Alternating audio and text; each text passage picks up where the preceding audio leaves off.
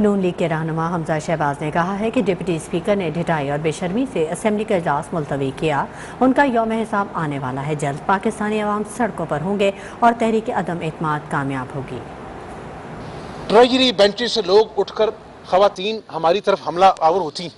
और ये तमाशा deputy speaker देख रहा होता है। कोई बात नहीं करता। कहता ये क्या क्या हो रहा है, क्या हो रहा है, क्या हो रहा है? और इसी असना में कहता जी सेशन इज़ अर्जेंट इंशाला वो दिन आएगा। आवाम का राज होगा। आइन और कानून की हुक्मरानी होगी।